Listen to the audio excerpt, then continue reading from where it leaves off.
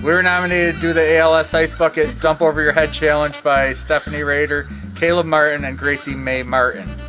We nominate Sean Keppel, Elizabeth Bracey, and Kathy Mag- McGowan. McGowan. McGowan. I messed up. You All have right. to fix it. No, that's all right. That's Do it. Yep.